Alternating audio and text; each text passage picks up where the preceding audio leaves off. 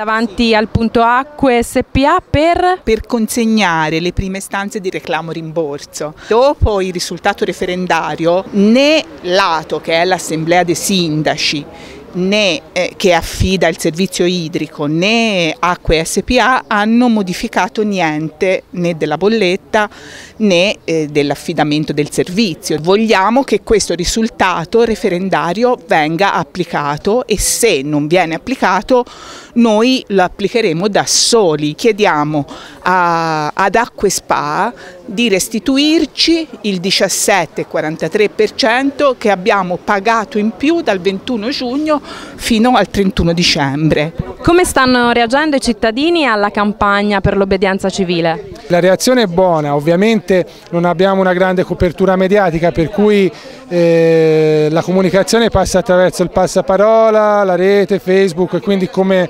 diciamo, tutte le, le comunicazioni di questo tipo si parte un pochino più lentamente, poi col passaparola cominciano ad arrivare le persone, le famiglie che dicono l'ho sentito dire da, l'ha fatto il mio vicino e quindi contiamo di incrementare.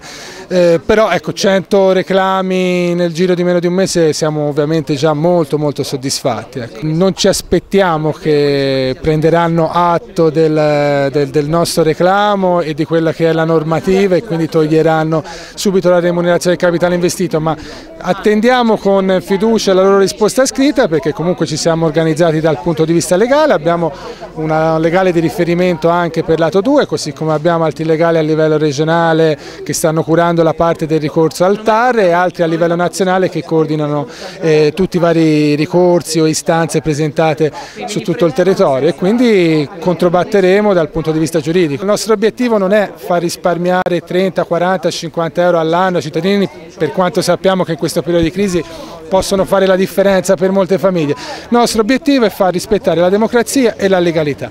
La Corte Costituzionale ha sancito, e è il massimo organo giuridico nel nostro Paese, che eh, il referendum era immediatamente applicabile, quel referendum è stato votato dalla maggioranza assoluta degli italiani dopo 16 anni che non passava un referendum, non si può eh, dire, insultare così apertamente 27 milioni di cittadini.